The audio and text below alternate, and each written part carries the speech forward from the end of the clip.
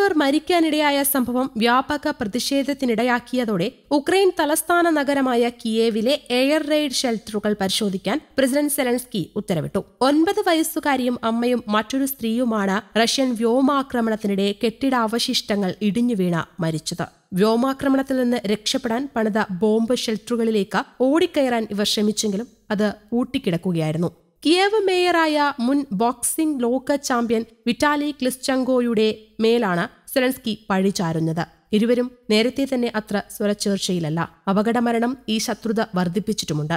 കുറ്റക്കാർക്കെതിരെ knockout punch നടത്താൻ ഒരുങ്ങുകയാണെന്ന് Zelensky പ്രതികരിച്ചു. ബോക്സിംഗിൽ എതിരാളിയെ ഇടിച്ചു വീഴ്ത്തുന്നതാണ് നോക്കൌട്ട് പഞ്ച് ക്ലിസ്റ്റ്യങ്കോക്കെതിരെ നടപടി ഉണ്ടാവുമെന്നാണ് സൂചന. എന്നാൽ ഷെൽട്ടറുകൾ കൈകാര്യം ചെയ്യുന്നത് പ്രസിഡന്റിന്റെ പാർട്ടിക്കാരാണെന്നും വീഴ്ചകൾക്ക് അവരാണ് ഉത്തരവാദികളെന്നും മേയർ തിരിച്ചടിക്കുന്നു. ഷെൽട്ടറുകൾക്ക് മേൽ പണം ചിലവഴിച്ചത് ദുരൂഹമാണ്. പ്രസിഡന്റ് നിയമിച്ച വ്യക്തിയാണ് നഗരത്തിലെ സൈനിക ഭരണം നിയന്ത്രിക്കുന്നതെന്നും ക്ലിസ്റ്റ്യങ്കോ പറയുന്നു. അതേസമയം റഷ്യയെ അസ്ഥിരപ്പെടുത്താനുള്ള ശ്രമങ്ങൾ ചില ദുഷ്ടന്മാർ ശക്തമാക്കുകയാണെന്ന് റഷ്യൻ പ്രസിഡന്റ് വ്ളാദിമിർ പുതിൻ വെള്ളിയാഴ്ച പറഞ്ഞു. ഒരു സാഹചര്യത്തിലും അത് അനുവദിക്കരുതെന്ന് തന്റെ മന്ത്രിസഭാ അംഗങ്ങളോട് അഭ്യർത്ഥിച്ചിട്ടുണ്ടെന്നും പുതിൻ വ്യക്തമാക്കി. വിശാലമായ രാജ്യത്തെ നൂറ്റി തൊണ്ണൂറ് വംശീയ വിഭാഗങ്ങൾ തമ്മിൽ ബന്ധപ്പെട്ട അതിപ്രധാനമായ പ്രശ്നങ്ങളുടെ പശ്ചാത്തലത്തിൽ സുരക്ഷ ഉറപ്പാക്കുന്നതിനെക്കുറിച്ച് റഷ്യയുടെ സുരക്ഷാ കൌൺസിൽ ചർച്ച ചെയ്യുന്നുവെന്നും അദ്ദേഹം പറഞ്ഞു. ഇന്ന് റഷ്യയുടെ സുരക്ഷ ഉറപ്പാക്കുന്നതിന്റെ പശ്ചാത്തലത്തിൽ തങ്ങൾ ആഭ്യന്തര രാഷ്ട്രീയ സുരക്ഷയും പരിഹരിക്കുമെന്ന് അദ്ദേഹം പറഞ്ഞു. രണ്ടായിരത്തി ഇരുപത്തിരണ്ട് ഫെബ്രുവരിയിൽ പതിനായിരക്കണക്കിന് സൈനികരെ ഉക്രൈനിലേക്ക് അയച്ചതിനുശേഷം വിയോജിപ്പിന്റെ ശബ്ദങ്ങൾക്കെതിരെ റഷ്യ അതിന്റെ അടിച്ചമർത്തൽ ശക്തമാക്കുകയും ബാക്കിയുള്ള മിതമായ എതിർപ്പിനെ തള്ളുകയും ചെയ്തു. പാശ്ചാത്യ രാജ്യങ്ങളിൽ നിന്നുള്ള അസ്തിത്വ ഭീഷണികൾ നേരിടാൻ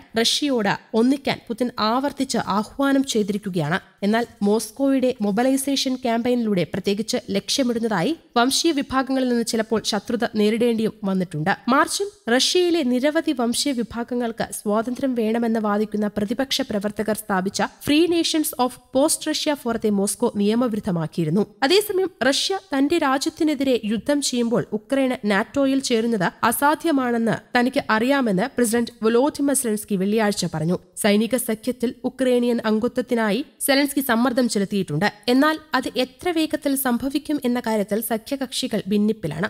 സഖ്യത്തെ റഷ്യയുമായുള്ള യുദ്ധത്തിലേക്ക് അടുപ്പിക്കുന്ന ഏതൊരു നീക്കത്തെയും കുറിച്ച് പാശ്ചാത്യ ഗവൺമെന്റുകൾ ജാഗ്രത പാലിക്കുന്നു.